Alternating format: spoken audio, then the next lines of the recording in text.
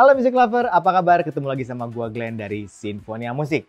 Kali ini kita mau unboxing satu IM baru dari CCA yaitu CCA CST. Nih, nah keunikannya apa IM ini? Yang pertama, straight down. Jarang-jarang yang pakai straight down sekarang. Biasanya kan IM-IM mau itu merek KZ, kayak B-Ear, Moondrop dan lain sebagainya itu banyak banget yang over ear kan. Nah, CCA yang ini, yang CST ngeluarin yang straight down, yang lurus aja, yang kayak yang lama-lama gitu loh. Dan tidak detachable. Keunikannya apa lagi? Terbuat dari kayu shellnya. Dan apalagi keunikannya harganya musik lover cuman Rp149.000. Nah, dari keunikan-keunikan itu kira-kira gimana nanti ya hasilnya? Gak usah lama-lama, kita unboxing saja, oke? Okay?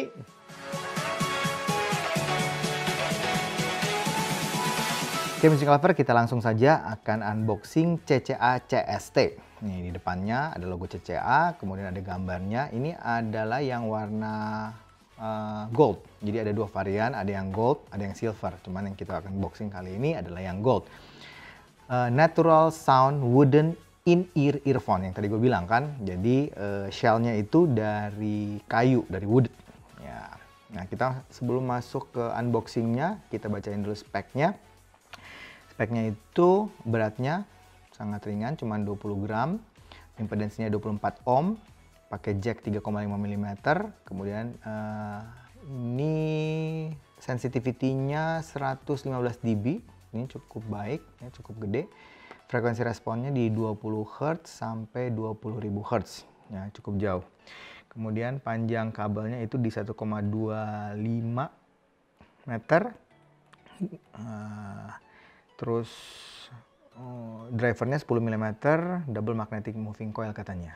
Ya, kita unboxing saja ya. Nih, ada yang ini kalau gua sepintas sih lihatnya kayak boxnya kalau di KZ itu boxnya uh, apa ya kabel gantinya KZ kayaknya tapi ini dibikin jadi IM ngomong-ngomong IM ini yang tadi gue bilang pas di opening ya uh, uniknya udah straight down jadi agak berbeda sama yang lainnya. Yang lainnya kan biasanya uh, over ear.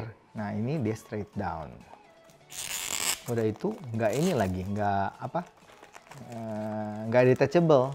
Jadi ya, ya kayak earphone earphone zaman dulu lah. Ya, jadi ya agak mungkin kita bisa nostalgia kali ya. Nah ini kita buka CCA Audio. Nah, ini unik sekali ini ada apa aja? Ini pasti tipsnya. Kemudian ada ini buat manual booknya kayaknya ini. Manual card ya. Ini apa nih? Oh ini kayaknya garansi nih. Ya garansi. Kita pindahin aja. Terus ini ada manual penggunaannya. Ya.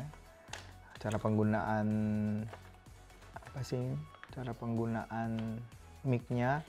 Terus ada adjustment the sensitive for ear. Jadi supaya kuping kita enak gitu dengernya. Ada informasi-informasi yang nanti musik cover bisa baca aja ya kalau yang beli. Oke okay. tipsnya dapat apa? Kita buka. Tipsnya oh ini tips standar banget ya. Ini yang kayak tipsnya KZ lah ya dapat tiga pasang.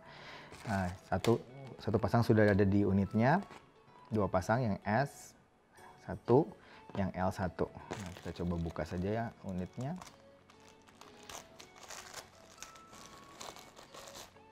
Oke. nah ini music lover buat gua sih dari tampilannya sih menarik sekali ya. Termasuk uh, cakep lah menurut gua. Ya, kita coba cek lagi dari bawah. Ah gua suka L shape gold plated 4 pole atau 4 pole. Jadi ada mic-nya. Kabelnya ya bukan braided ya, kabel sleeve karet biasa tapi cukup solid ya, cukup solid dan tebal sepertinya. Uh, splitternya langsung Y seperti ini.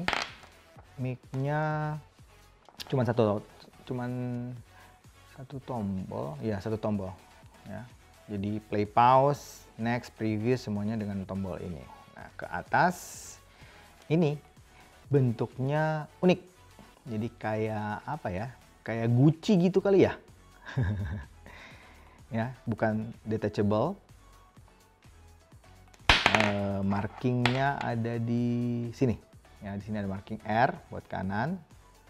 Ya. L buat left, buat yang kiri. Terus ini bah ini ini kayu beneran ya. Jadi motif kayunya juga kelihatan. Music lover bisa lihat nih, motif kayunya bagus banget. Ya. Kemudian ini yang karena ini yang gold, jadi finishing shellnya di sini itu gold. Kemudian di bagian belakangnya ini ada kayak grill-grill, kayaknya mungkin uh, jadi kayak semi open back gitu ya. Nggak tahu nanti kita coba. Ya, anyway, setelah kita unboxing ini, gua akan cobain juga sebentar, akan kasih quick impression buat CCA CST ini. Um, untuk nozzle-nya, nozzle gede, standar, grillnya bagus, rapi sekali. Ya, tipsnya yang M di sini, jadi cuma dapat tiga tips.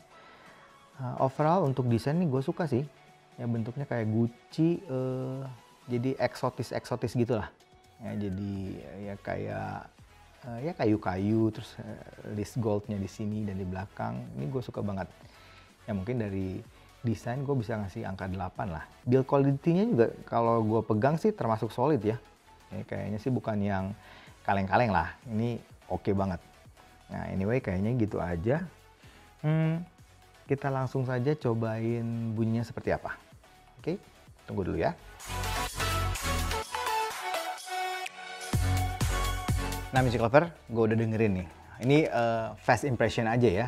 Secara umum yang gue dengerin ini ngomong-ngomong harganya Music Lover mesti tahu harganya ribu rupiah ya. Ada yang jual 140, ada yang jual 150 jadi uh, sekitar gitu. Jadi termasuk yang uh, sangat murah gitu, yang uh, entry level lah.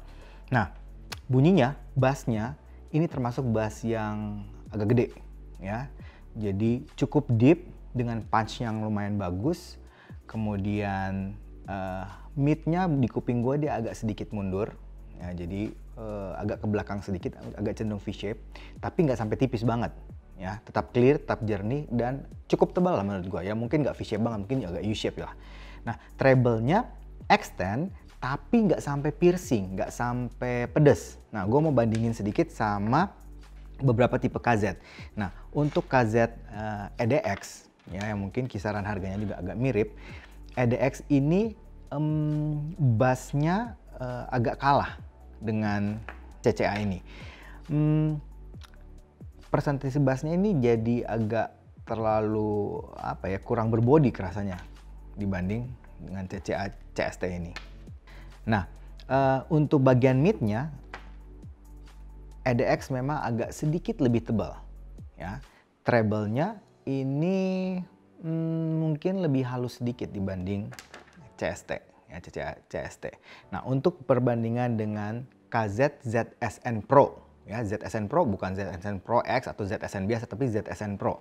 Nah untuk ZSN Pro bassnya masih kerasa lebih deep dan lebih punch yang CCA CST ini. Nah untuk midnya ini kerasa lebih V-shape jauh, lebih mundur jauh. Dan ini treble-nya kerasa sangat extend, jadi agak pedas mungkin. Nah ini enggak. Ya, jadi perbandingannya buat tiga ini, ini mungkin bassnya yang lebih gede, mid-nya di tengah-tengah di antara ketiganya, jadi bukan yang paling mundur, tapi bukan yang paling maju. Eh, dan treble-nya lebih halus dari ZSN Pro, tapi sedikit lebih extend dibanding EDX. Jadi tuningnya buat gue pribadi ini aman banget jadi music lover yang suka bass, yang mungkin lagu-lagu sekarang gitu, ini kayaknya sih bakalan cocok banget. Nah, untuk yang suka uh, treble juga masih kerasa cukup extend, tapi nggak sampai piercing, nggak sampai pedas gitu. Nah, untuk teknisnya, ingat harganya cuma 150 ribu ya. Termasuk bagus untuk uh, harganya music lover. Ya. Untuk separasi instrumennya cukup kerasa kepisah-pisah. Ya. Detail clarity lumayan banget. Bahkan gue bilang bagus untuk harganya. Soundstage termasuk luas termasuk positioningnya sangat baik. Imagingnya benar-benar luas ya. Baik itu wide-nya depth-nya maupun height-nya juga kerasa ruangannya 3D-nya jadi untuk harga 150.000 ini surprisingly kayaknya bakalan jadi contender untuk one of the best untuk di kisaran harga 100 ribuan deh.